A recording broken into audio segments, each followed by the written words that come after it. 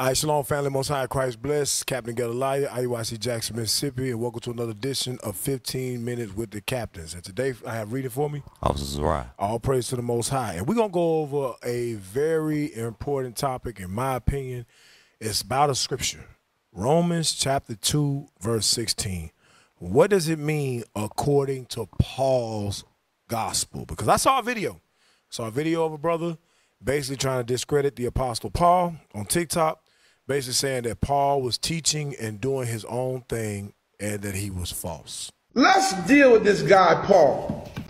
I, I, let, us and for those who didn't hear last week, let's kind of understand right off the bat, let's lay the foundation that Paul made the statement, according to the Bible, that everything he taught, he made it up.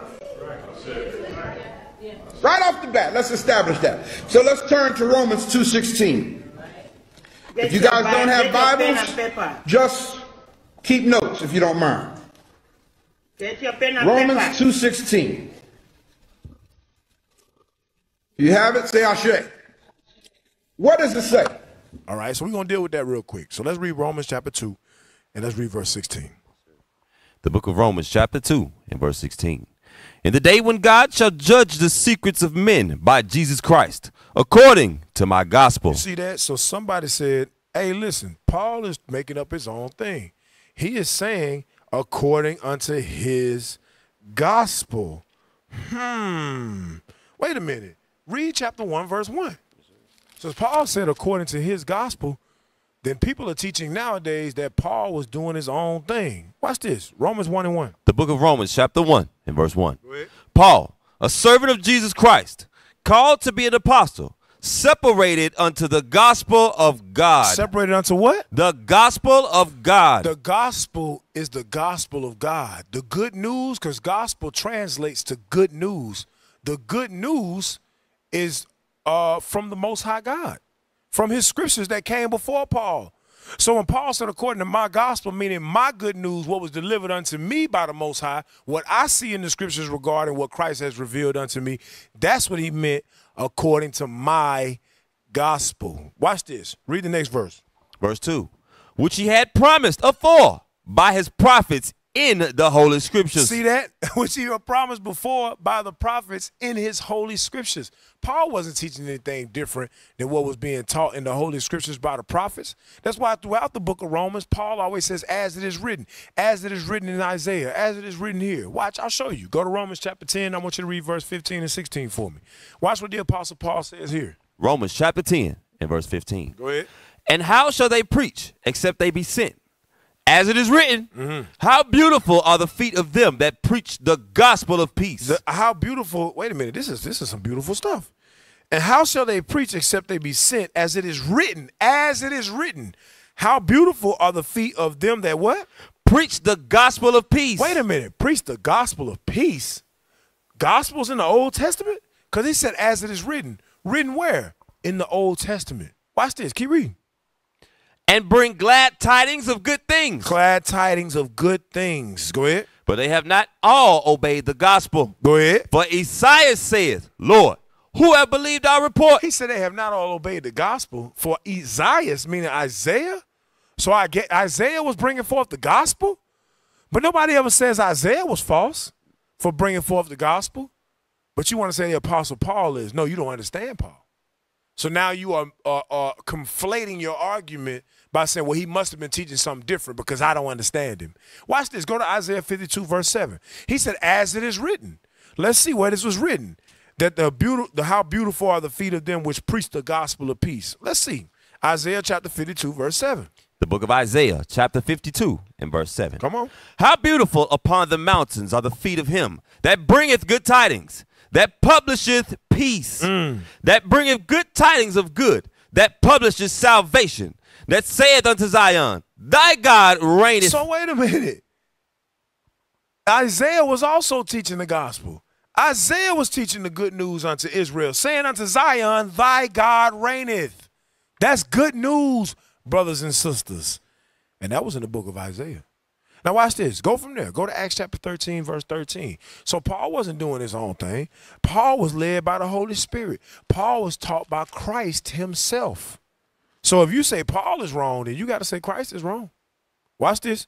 Go to Acts 13, 13. The book of Acts, chapter 13 and verse 13. Come on. Now, when Paul and his company loosed from Paphos, they came to Perga in Pamphylia. Mm-hmm. And John, departing from them, returned to Jerusalem. Go ahead. But when they departed from Perga, they came to Antioch in Pisidia Read. and went into the synagogue on the Sabbath day So this is Paul and his company. Went into the synagogue on the Sabbath day. Go ahead. and sat down. Uh-huh. And after the reading of the law and the prophets, the rulers of the synagogue sent unto them, saying, Ye men and brethren, Ye men and brothers. So not just Paul, the men that was with him. He said, Ye men and brethren. Go ahead. if ye have any word of exhortation for the people, Uh-huh. say on. Go ahead. Then Paul stood up and beckoning with his hand said, Men of Israel, and ye that fear God, give audience. So watch this. So Paul and the company that's with him are now teaching our brothers and our sisters in Pisidia, Antioch of in Pisidia.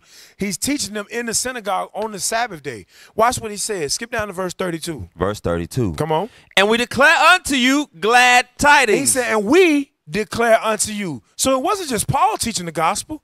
It was the men that was with him. It said, we declare unto you what? Glad tidings. Glad tidings. Go ahead. how that the promise which was made unto the fathers, God hath fulfilled the same unto us, their children, Uh-huh. and that he have raised up Jesus again, as it is also written in the second psalm, Thou art my son, this day have I begotten thee. So wait a minute now. Hold up. So King David was teaching the gospel too? But nobody ever says, oh, well, David was false because he was teaching his own gospel. They all spoke the same thing, brothers and sisters. The same spirit that was in Paul was the same spirit that was in David. There was the same spirit that was in Moses, was the same spirit that was in the prophets and the apostles that came before him. The same spirit that was in Peter. Wait, does Peter confirm Paul? Yeah, go to Second Peter chapter 3. And let's read verse 15. Does Peter confirm Paul? Because if you're saying Paul was teaching his own thing, and then Peter confirms him, who was left in charge of the church, now we got a dilemma. Either we should re- we should uh, believe the holy apostle, the head apostle, Peter, or we should believe you. I don't think we should believe the Negro. Not the Negro today. I think I want to believe Peter. But let's see what he says. Go ahead. The book of Second Peter, chapter 3, and verse 15. Go ahead. An account that the long suffering of our Lord is salvation. Uh-huh. Even as our beloved brother Paul, also according to the wisdom given unto him. He said, even as our beloved brother Paul. This is Peter speaking. And al- as also, our, uh, read it again. So I don't want to butcher it. Go even ahead. as our beloved brother Paul, Go ahead. also according to the wisdom given unto him, Read. have written unto you, Have written unto you. Go ahead. as also in his epistles, speaking in them of these things, in which are some things hard to be understood, Go ahead. which they that are unlearned and unstable wrest, See that? Go ahead. as they do also the other scriptures. Because they didn't realize that Isaiah taught the gospel. They didn't realize that King David taught the gospel. Go ahead. unto their own destruction. Unto their own destruction. Go ahead. Ye therefore, beloved, seeing ye know these things before, Since seeing you know these things before. Go ahead. beware lest ye also, being led away with the error of the wicked, fall from your own steadfastness. fall from the understanding that we know that the apostle paul was not doing his own thing that he was led by the son of god. How do we know he was led by the son of god? The other apostles affirmed him. Watch this. Go to the book of acts chapter 9 acts chapter 9 watch this. Acts chapter 9 and i want you to read um, verse 20 start at 19 Yes, sir. Acts chapter 9, verse 19. come on And when he had received meat, he was strengthened. about paul go ahead Then was Saul certain days with the disciples which were at Damascus. so he was saul at this time he wasn't known as paul go ahead and straightway he preached Christ in the synagogues. Read. That he is the Son of God. So wait a minute. This written by Luke. This ain't Paul. This is written by Luke. Paul was not teaching his own thing. It said he stood up in a synagogue and taught Jesus Christ that he was the Son of God. He was this was in Damascus. Remember, he was originally sent to Damascus to persecute the followers of Christ. But Christ blinded him on the way to Damascus. He was blind for several days, and then I believe the brother's name was Ananias. Laid hands on him. He ate and received his sight. Then he went and taught the gospel of Christ. Paul didn't teach his own thing. Keep reading. Watch this. But all that heard him were amazed and said, Is not this he that destroyed them which called on this name in Jerusalem Uh-huh. and came hither for that intent that he might bring them bound unto the chief priests? But Saul increased the more in strength Read. and confounded the Jews which dwelt at Damascus. He confounded them regarding Christ. Watch this. proving that this is very Christ. He wasn't teaching his own thing. Go ahead.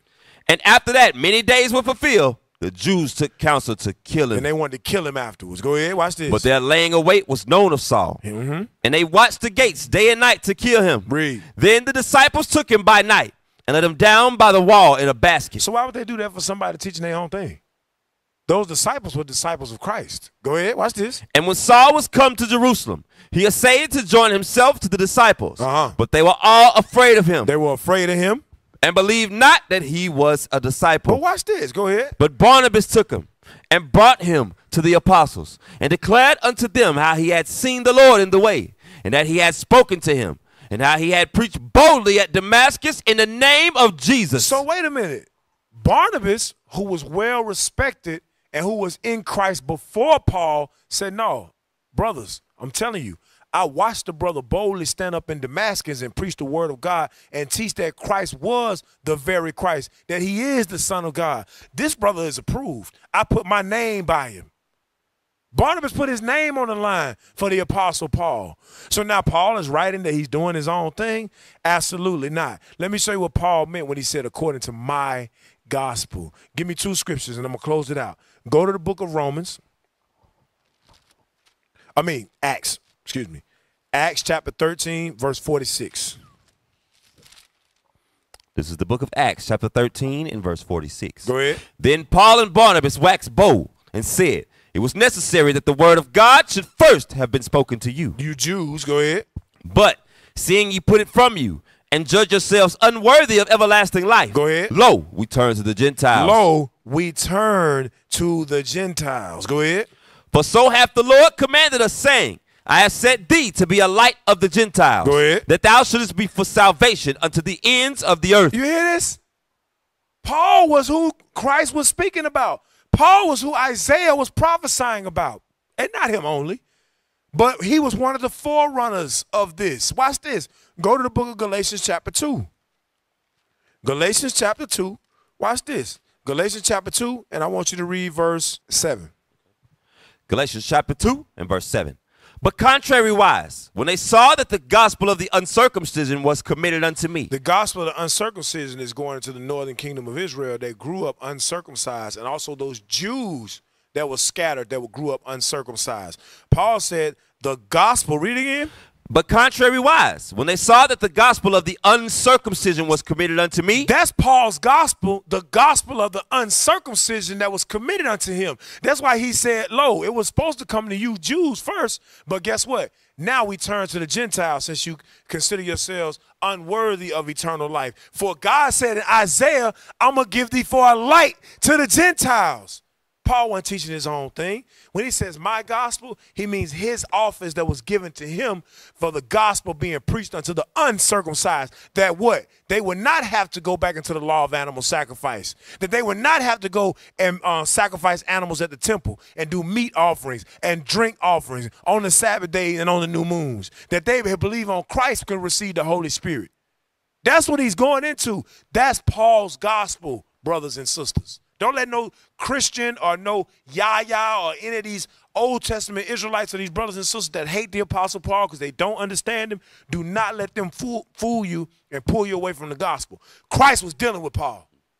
Read that again. but contrariwise, when they saw that the gospel of the uncircumcision was committed unto me, Go ahead. as the gospel of the circumcision was unto Peter. You hear that? As the gospel of the circumcision was unto Peter, meaning the southern kingdom. Watch this. But he that wrought effectually in Peter to the apostleship of the circumcision, Go ahead. the same was mighty in me toward the Gentiles. The same was mighty in Paul toward the northern kingdom of Israel. That's Paul's gospel. Last scripture, Romans chapter 11. And I think it's verse 13. I magnify mine office. I magnify mine office. Read that for me. Romans chapter 11, verse 13. For I speak to you Gentiles, and as much as I am the apostle of the Gentiles, I magnify mine office. That's a beautiful thing right there. So when Paul says my gospel, he's talking about the lot that was given to him to teach the word of God and the understanding of Christ to the northern kingdom, who was known as Gentiles. Paul was in one accord with the rest of the apostles, with Jesus Christ and all the prophets that came before him. All right? So I hope y'all got something from that quick lesson. That's another edition of 15 Minutes with the Captains. I'm Captain Lights. Am I right? Officer Sarai. And Romans 2 16, what is Paul's gospel? Just got it right there. Shalom.